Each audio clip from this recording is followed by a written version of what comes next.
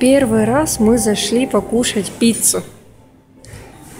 Вот, неподалеку от дома такая пиццерия с таким очень интересным интерьером. Деревянные столы, стулья. Тут вот такой сундук. В общем, попробуем, как она здесь. Но интерьер мне очень нравится. Высокие потолки, все под дерево. Ну, точнее, все деревянное. Класс.